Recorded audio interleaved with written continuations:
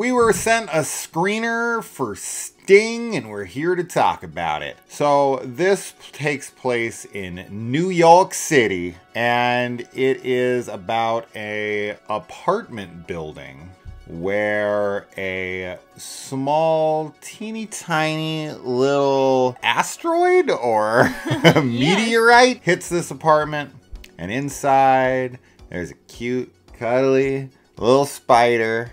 Yeah, he's pretty cute. But then he starts to grow. and he Ain't so cute. He's still pretty cute.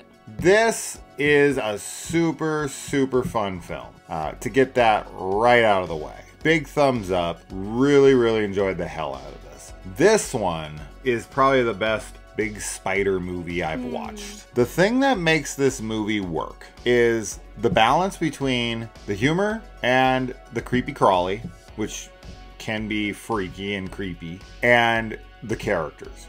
The characters in this are super strong. We have a family dynamic here that really works. And I really, really enjoy our two leads of the film, which is the, the daughter and the stepdad. The effects here are super cool.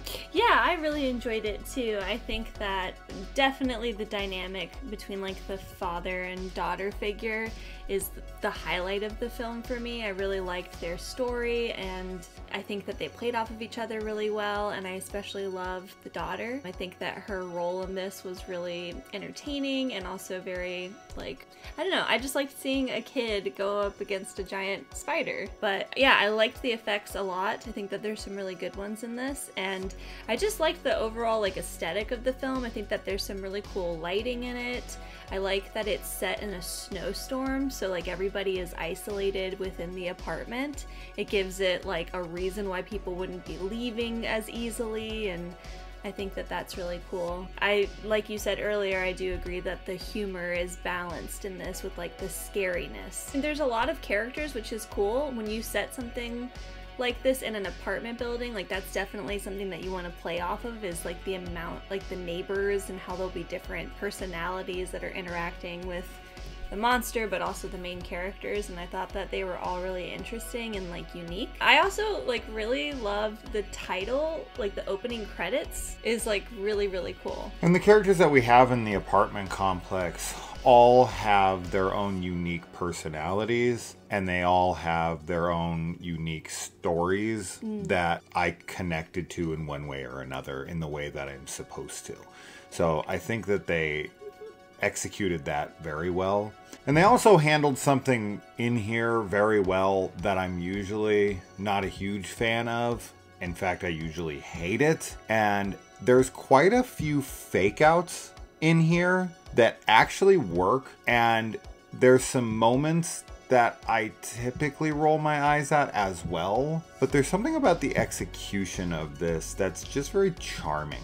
And the director of this, I know from his films Wyrmwood 1 and 2, as well as Nekrotronic, I think is the, is the name of the film. I think he has a very good balance to his films uh, of, of what he does by putting in humor and either action or horror or both. And in this case, it's it's it's a bit of both. Part of the effects that I really liked was the aftermath of different kills. Yeah.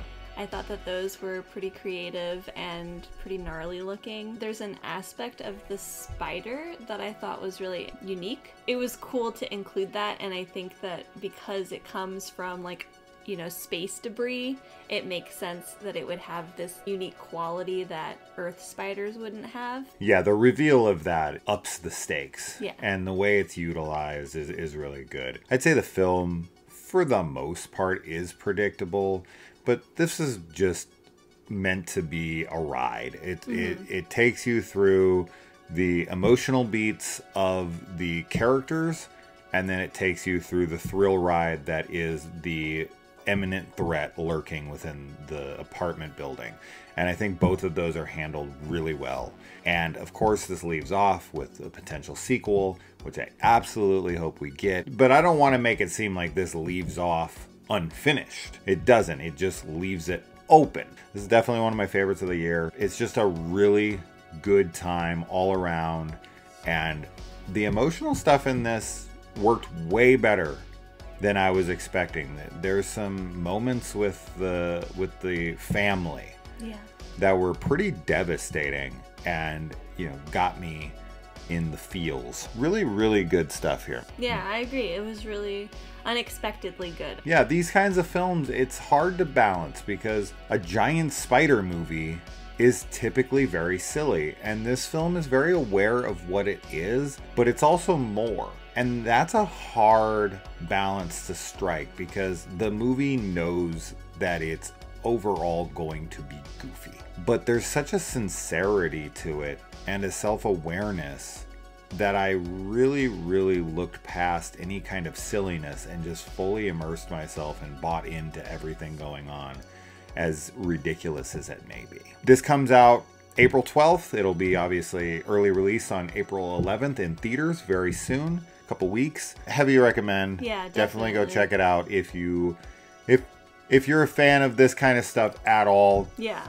This is easily one of the best. It's super fun. It's definitely something you want to see in theaters. So let us know what you think about it when you watch it, and we'll see you in the comments.